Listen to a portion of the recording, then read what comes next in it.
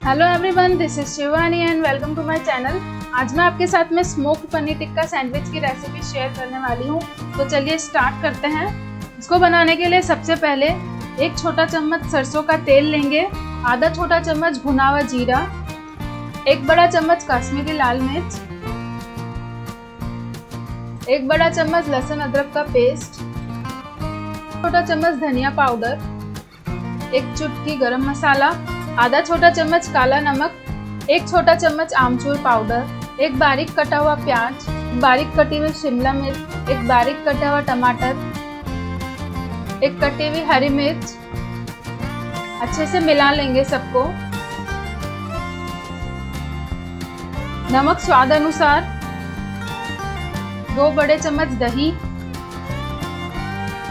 अच्छे से मिला लेंगे। 100 ग्राम पनीर लेंगे तो छोटे टुकड़ों में काट लेंगे। एक बड़ा चम्मच भुना हुआ बेसन। एक छोटा चम्मच लेमन जूस। अब इनको अच्छे से मिला लेंगे।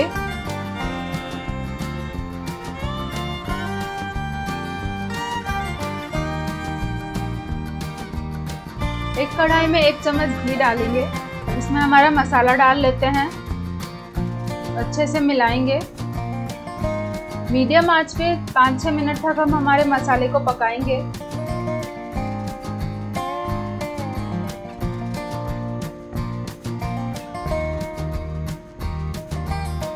हमारा मसाला पक चुका है। अभी हम इसको स्मोक देंगे। तो एक प्लेट रखते हैं कढ़ाई में। उसमें दो जलते हुए कोयले रखेंगे। जलते हुए कोयलों के ऊपर हम घी डालेंगे। घी डालते ही ढक्कन लगा देना है और पाँच छः मिनट तक वैसे ही रखना है। जो स्मोक का फ्लेवर है, वो हमारे मसाले में आ जाएगा और वो बहुत टेस्टी लगने वाला है। सैंडविच बनाने के लिए ब्रेड लेंगे, उस पर बटर लगाएँगे अच्छे से। ग्रीन चटनी लगाएँगे। अभी जो मसाला रेडी किया था, वो मसाला लगाएँगे। यहाँ पे मैंने सैंडविच के लिए व्हीट ब्रेड यूज़ ली है। आप चाहे तो कोई भी ब्रेड यूज़ ले सकते हो। अभी दूसरी ब्रेड भी ऐसे ही रेडी कर लेंगे। बटर लगाएँगे। ग्रीन चटनी लगाएँगे। चीज़ स्लाइस रखेंगे। आप चाहे तो चीज़ स्लाइस को स्किप कर सकते हो। अभी ब्रेड के ऊपर भी बटर लगाएँगे। इसको तवे पे अच्छे से सेक लेंगे। तो जिस साइड बटर लगाई थी, वो साइड हम नीचे के साइड रखेंगे। इसको दो मिनट तक सेकेंगे जब तक ये नीचे से गोल्डन ब्राउन ना हो जाए। अभी ऊपर ऊपर वाले साइड हम बटर लगाएँगे। सैंडविच को पलट के दूसरी साइड भी अच्छे से सेक लेंगे। ऊपर से थोड़ा सा प्रेस करेंगे स्पैचुला की हेल्प से। और ये हमारा सैंडविच रेडी है।